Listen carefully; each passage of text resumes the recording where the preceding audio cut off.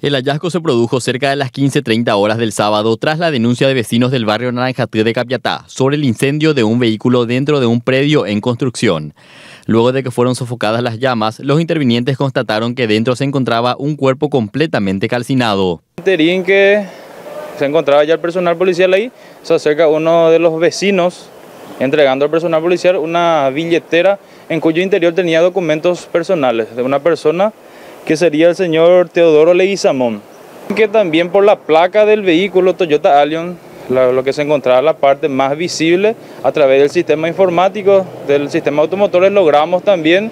eh, corroborar que correspondería al señor Teodoro Leguizamón. Al realizar las averiguaciones sobre los documentos hallados, se constató que Teodoro Leguizamón tenía orden de captura por una denuncia de intento de feminicidio, realizada por su expareja el día anterior. Posterior a todo eso, a través de las averiguaciones, averiguamos con personal de la comisaría 46 y el abogado Luque si tendría algún domicilio, algo de esta persona. Manifestaron nuestros pares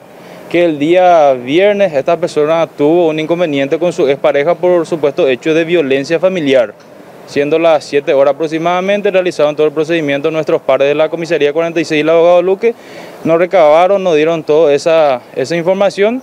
y el día sábado se habría librado orden de detención por supuesto hecho de violencia familiar contra esta persona. El fiscal del caso, Víctor Villaverde, señaló que en principio se maneja la hipótesis de que se trataría de un suicidio, pero no se descarta que podría tratarse de un homicidio y posterior simulación de autoeliminación, teniendo en cuenta que a metros del lugar se había hallado una escena idéntica el año pasado, con un vehículo incendiado y un cuerpo calcinado. Con una fuerza que efectivamente pudo haber sido ahora dentro del vehículo por la situación que estaba